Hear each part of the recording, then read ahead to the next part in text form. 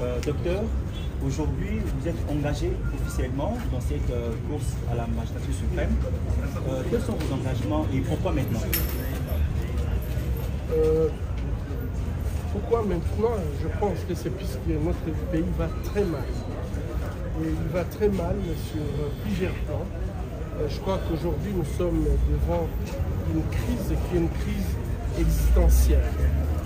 Cette crise est existentielle puisque euh, notre pays est occupé aujourd'hui par des pays étrangers. Nous avons plus de 100 groupes à l'est du pays. Et je crois que dans ces conditions où on ne gère plus euh, l'intégrité territoriale de notre pays, il y a urgence. Il y a urgence puisque euh, nos richesses aujourd'hui sont bradées et nous vivons dans une situation euh, de prédation sans précédent. Alors que tout le monde euh, déclare que l'avenir de la planète est en République démocratique du Congo, malheureusement, les Congolais vivent dans des conditions inhumaines. Et je crois que ce n'est plus tolérable que euh, en fait, le Congo puisse être toujours la source du développement de notre planète, en commençant par euh, des, des- véhicules, avec les caoutchoucs. Nous avions perdu euh, 10 millions de personnes. Et après, euh, la bombe atomique, c'est l'uranium congolais euh, qui a été utilisé.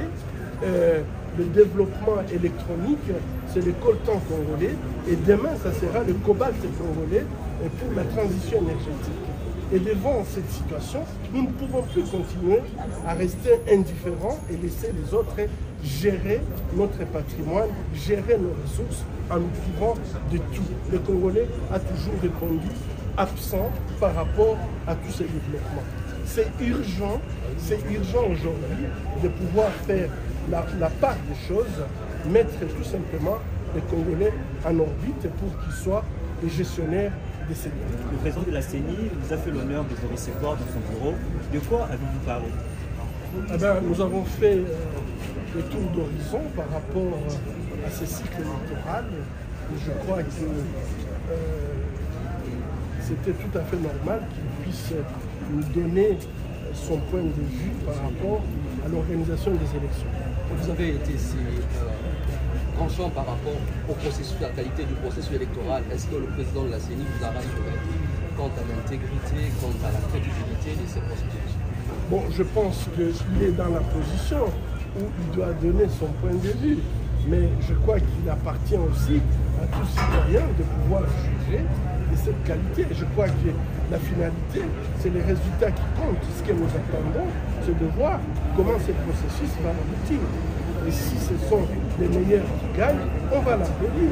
Si c'est le contraire, on dira que nous ne sommes pas d'accord. Et je crois que nous, on, sait, on a décidé de s'engager dans ce processus malgré tout ce qui s'est dit. C'est puisque nous croyons euh, à, à la capacité euh, du peuple congolais de pouvoir non seulement aller voter, mais aussi à la capacité de défendre son vote. Et donc, euh, si le peuple va défendre son vote, nous disons tout simplement, peuple congolais, si vous n'êtes pas d'accord avec euh, la qualité de ce cycle électoral, indignez-vous, résistez, et nous disons même, si votre vote a été donné, vous avez le droit de, de- de faire une révolution démocratique.